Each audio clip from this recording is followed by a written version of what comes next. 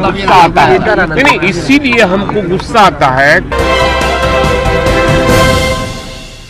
बहुत बहुत स्वागत है आपका सिटी पोस्ट लाइव में और मैं हूँ आपके साथ पूजा शर्मा। आरजेडी ने मनोज झा और संजय यादव को राज्यसभा के लिए नामांकित किया। कयास ये लगाया जा रहा था कि आरजेडी विधायक भाई वीरेंद्र भी राज्यसभा जा सकते हैं, लेकिन उनका नाम नामांकित नहीं किया गया और मनोज झा और संजय यादव राज्यसभा के लिए नामांकित हुए। इसको लेकर जब आरजेडी विधायक भाई बीरेंद्र से ही सवाल किया गया तो भाई बीरेंदर काफ़ी गुस्से में नज़र आए और कहते हुए नज़र आए कि ऐसा सवाल मत पूछिए जिससे हमें गुस्सा आ जाए।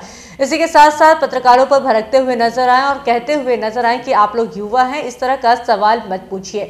आरजेडी को हमने सींचा है, अगर हमको काट के देखिएगा तो हमारे अंदर से सिर्फ़ आरजेडी ही निकलेगा। इसी के साथ साथ भाई वीरेंद्र बड़ा खुलासा करते हुए नज़र आए कि उनके पास पेटी तो पेटी आती थी, लेकिन उन्होंने आरजेडी का साथ नहीं छोड़ा। इसी के साथ साथ जब नियोजित शिक्षकों को लेकर भाई वीरेंद्र से सवाल किया गया तो समर्थन करते हुए नज़र आए और क्या कुछ कहते हुए नज़र आए, पहले आप वो खुद सुने। बात बोलते हैं ना इसीलिए गुस्सा आता है। नहीं नहीं इसीलिए हमको गुस्सा आता है कि आप लोग इस तरह का सवाल क्यों करते हैं? भाई वीरेंद्र के ऐसे काटिएगा तो आरजेडी ही निकलेगा। अब क्यों ऐसा करते हैं? नहीं ना आप नौजवान लड़का है आप पत्रकार है मैं चाहता हूँ कि आप आगे बढ़िए और इस तरह का गलत बात बोलकर हमको गुस्सा मत दिलाइए। हाँ भाई भाई वीरेंद्र सींचा है आरजेडी को।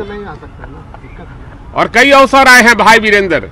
कई अवसर आया पेटी लेकर हमें पेटी लौटाया कि नहीं हम आरजेडी लालू यादव को नहीं छोड़ सकते हैं। और आप ऐसा छोटा सा आप कितना उम्र है होता हो राज्यसभा आपको नहीं भेजा जाना अरे भाई नहीं हम क्यों हम अभी विधानसभा है। ये है। विधानसभा का सदस्य हैं अभी। अरे भाई नहीं यार छोड़ो यार पार्टी का जो निर्णय होगा उसको सम्मान है और पार्टी का जो निर्णय हो वो ठीक है। सब शिक्षकों चलाई जा रही है। मैं उसकी भर्सना करता हूँ और उनकी जो मांग है वो जायज़ है और हम जब सरकार में थे तो हमने वादा किया था कि हम नियोजित शिक्षकों को सरकारी कर्मी का दर्जा देंगे। किसानों का आंदोलन हो रहा है। किसान आंदोलन कर रहे हैं। किसान आंदोलन करें उनके साथ हम हैं क्योंकि ये सरकार दमनकारी नीति से चलती है। हम किसानों के हर मांगों का समर्थन करते हैं और किसान का जो वादा था बीजेपी का उन्होंने पूरा नहीं किया। न किसानों को उपज का दोगुना दाम दिया न खेतों में पानी दिया।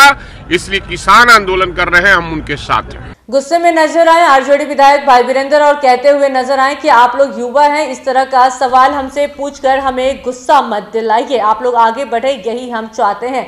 इसी के साथ साथ उन्होंने कहा कि पार्टी का जो निर्णय होगा, उसके साथ हम हैं। हम भी विधानसभा के ही सदस्य हैं। इसी के साथ नियोजित शिक्षकों को अपना समर्थन देते हुए नज़र आए और कहते हुए नज़र आए कि जब हम लोग सरकार में थे तो हमने जो वादा किया था शिक्षकों से, वो वादा हम लोगों ने पूरा किया।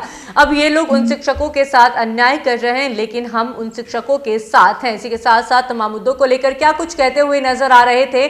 भाई वीरेंद्र सुना आपने। तो फ़िलहाल इस खबर में बस इतना ही। तमाम जानकारी के लिए बने रहें सिटी पोस्ट लाइव के साथ। इस वीडियो को लाइक करें, शेयर करें और चैनल को सब्सक्राइब करना ना भूलें। धन्यवाद।